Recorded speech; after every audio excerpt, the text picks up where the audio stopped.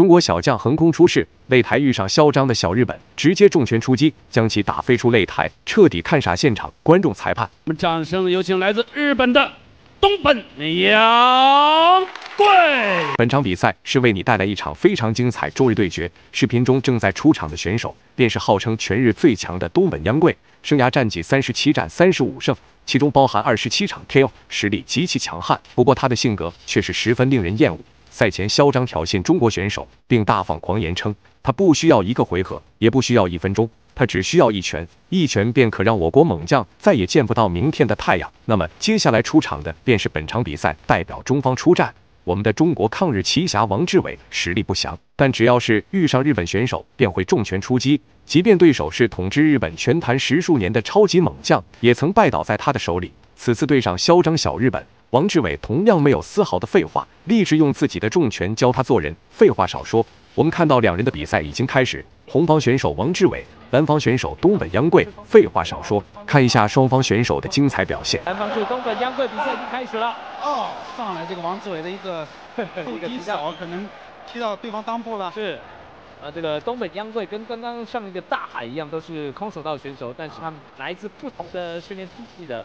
目前东本央贵是跟一位很知名的叫伊伊泽波人是同团队的，是 Always 团队，对的，做的很。比赛重新开始，经过一个小插曲过后，相信日本选手此时也是意识到了我国猛将的进攻能力了。这样看来的话，这场比赛离结束将不会太远了。毕竟在打小日本这件事上，王志伟绝对称得上是专家，想要将其彻底终结，我看也只差一个机会罢了。泰斗，啊，我们的东本央贵也 PKO 过，非常重。后中场啊，两个人都硬碰硬的，紧张起来。是。那东北央队的拳法很重，要小心一点，而且是反架的。然后呢，我们东北央队还有上下两段的一个后扫踢，所以呢，你不容易判断。啊，刚才的后中扫非常重啊。是。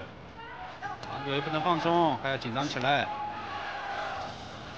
对方。拳拳跟这个腿都很重，双方现在其实还是在试探的一个阶段，是，啊，并不是特别重啊。好，底七没有顶正，先是两脚一推开，哦，还好。可以看到两人的对局依旧是十分的焦灼，对手始终占据着主导位置，王志伟也是丝毫不慌。看来这场比赛应该也是做了充足的准备，完全没有与对手争夺主导位置的打算，只待对手露出破绽。再重拳出击，彻底将其终结。走边拳，哦，这已经打得很准了。王志伟一个挑衅，你来呀，你来呀！其实他的后天已经在等好了。是，打了一个陷阱。这对方力量蛮大，对方力量蛮大。是，他每天都在做这深蹲啊，这些力量训练的。啊，王志伟想打赢敌，对方是做防反，两个人斗智。是。好，注意迎击啊！啊，点击迎击。用这个底线，是王志伟的戏法好几种线路啊，啊，还会双飞吸，有时候是改变一下路线，跟改变一下高度，还有改变一下时机。可以看到，此时的日本选手依旧是十分的调皮，很明显，他还是没有意识到事情的严重性。不过接下来，他就会明白自己与我国猛将的差距了。王志伟已经做好了准备，只要他敢放松警惕，王志伟必将迅速上前，重拳将对手终结。哎转身。其实可以跟个后边拳嘛，是他以前会跟的。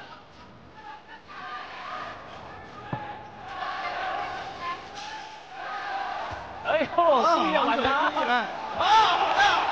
哦，王子又给对方挖了个陷阱。是是。你来呀你。对，前面已经准备好了。对，是王志伟打的非常聪明啊。啊，王志伟，今天非常的自信。是。他在故意耍对方啊！好的，赶紧抓住机会，有机会就高手，高手，结束了，裁判直接终止了对局，没有丝毫的意外。王志伟手起刀落，成功拿下比赛胜利。